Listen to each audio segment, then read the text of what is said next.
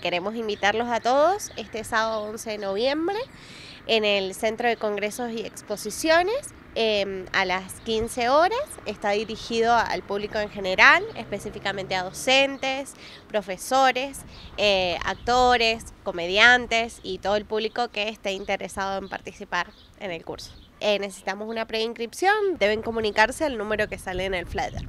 Bueno, los objetivos de este taller en primera instancia es conocer nuestro sistema fonatorio, conocer las estructuras que lo componen, eh, también darle recomendaciones a las personas sobre los cuidados, abusos y mal usos de la voz, em, prevenir difonías y lesiones vocales. En esta oportunidad voy a estar dos sola, pero bueno, próximamente invitaremos a otros participantes. Nuestro público con mayor demanda son los docentes, donde generalmente se da el hiatus, nódulo, pólipo, avance de bandas, difonías por tensión muscular, entre otros. Todo se da por un abordaje fonobiológico junto con el otorrino eh, para tratar estas difonías funcionales u orgánicas.